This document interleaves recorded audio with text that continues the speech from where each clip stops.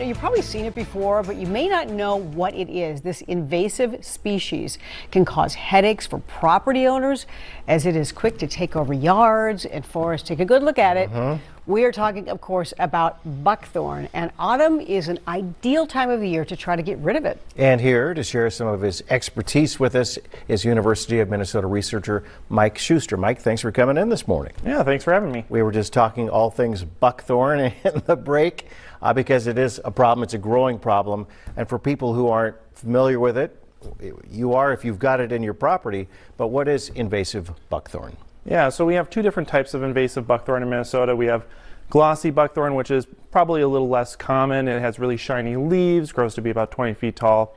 Um, the more prolific version of buckthorn is common buckthorn. That's what you had on the screen there. Um, and that is an invasive plant from Europe that was brought over as a hedge plant. And those same traits that make it a really great hedge make it just totally take over natural systems. Right. And I'm guessing that that must be the problem, that it just takes over systems and kind of crowds out maybe important, uh, you know, elements in the environment and other for other plant species.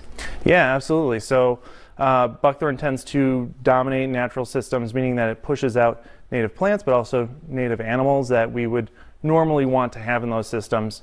As a consequence, we don't get as much value from those areas, uh, particularly forests.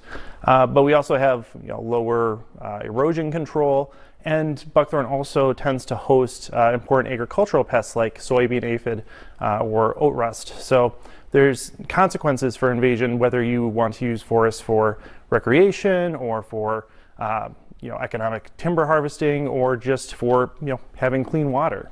The big question people are thinking, how do I get rid of it? Um, we know now this time of year is actually a pretty good time to start doing that. Yeah, absolutely. So as we get further into the fall, more and more native trees are going to be losing their leaves. Uh, the wildflowers, grasses are turning brown. Uh, but buckthorn, it keeps its leaves green well into uh, the late fall or early winter. And so it's really easy to spot right now. Uh, and so it's easy to remove in that way. But you're also reducing the amount of damage that you do to native plants by acting now as opposed to the summer when they're trying to grow. Okay, and I would think just by the name buckthorn that it's a it's sticky. It, it, maybe is is hard to remove. So how do you make sure that the buckthorn doesn't come back while you're removing? And in many different ways you can you can try that, right?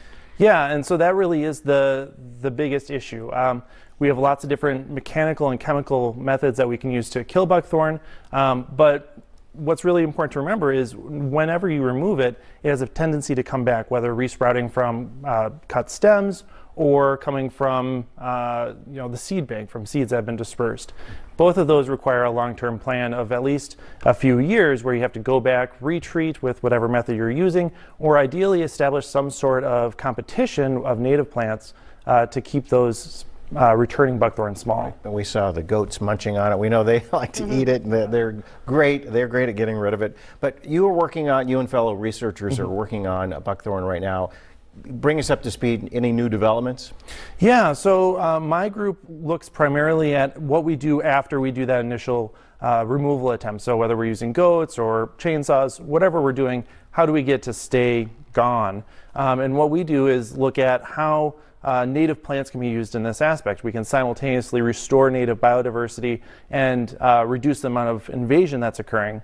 We tend to see that uh, whether we're seeding in native grasses or you know, taking a more aggressive approach of planting trees and shrubs, that we're seeing reduced invasion as a consequence.